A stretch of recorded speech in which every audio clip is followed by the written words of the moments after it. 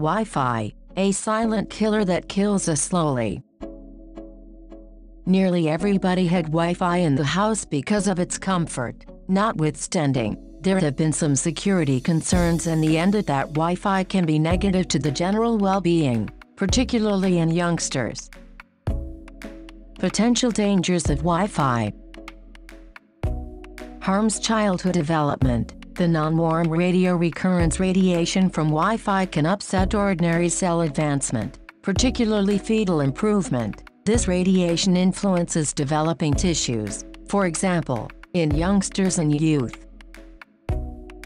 Adds to the development of insomnia, Wi-Fi has likewise an extraordinary impact on rest. On the off chance that you have an inclination that you can't nut off, have a sporadic dozing design, it might be because of the low recurrence regulation for mobile phones and Wi-Fi.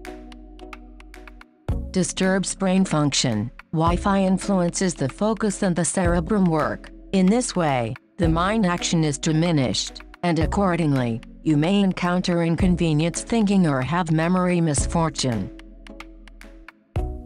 Kills sperm. Wi-Fi is another reason which dangers man's virility. Henceforth, introduction to Wi-Fi frequencies diminish sperm development and cause DNA fracture. Besides, it might affect richness or increment the danger of unusual pregnancy.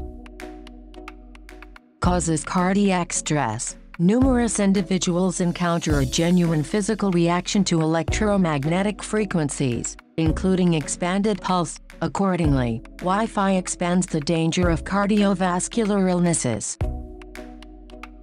Builds the risk of cancer. Wi-Fi radiation. How to protect yourself. Luckily, there are ways you can shield yourself from the risks, including Abstain from setting a remote switch in your kitchen or room. Try not to keep the telephone in your pocket. Utilize wired telephones when at home, to decrease electromagnetic radiation.